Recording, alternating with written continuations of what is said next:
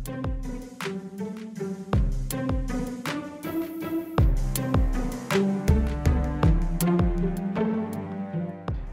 is our backend calendar. Let's see what we have done uh, on the daily view. Okay, uh, as you can see, uh, there are uh, two fields that you can use to um, uh, search through your reservation. Here you can search um, uh, a reservation of a specific customer, for example, Sarah. As you can, as you can see, mm, uh, all the mm, uh, just the reservation from Sarah is displayed. The other one are hidden. Okay, you can uh, reset the search, and you can uh, you could use this service filter. For example, you want to see all the reservation uh, of uh, creative long hair. Okay.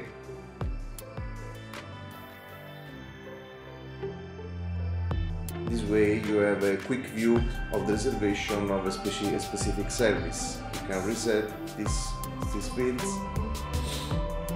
and see all the reservation. Um, another important features is the pagination system that is represented by these uh, circles. Uh, when you have uh, a lot of reservation uh, during the same uh, time slot, as the, in this case, uh, pagination system is automatically activated.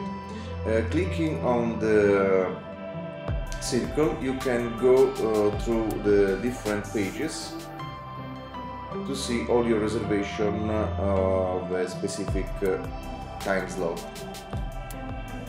Okay. Clicking here. We go from a page to another page, page to another. Another important feature is represented by the assistant views. Clicking here you can group your reservation by assistant by assistant this way you have a quick overview of the daily reservation uh, for each of your assistants. You go back to the standard view and that's it. Uh, from the next uh, version of Salon Booking, you'll be able to add new reservation from backend uh, straight from the calendar daily view. So clicking uh, over a time slot for example here, clicking here, a pop-up window will be displayed and you'll be able to add a new reservation. This, is, this will be the, the next feature. Uh, that's all for the moment. Thank you for your, time, for your attention and see you uh, on the next update. Bye.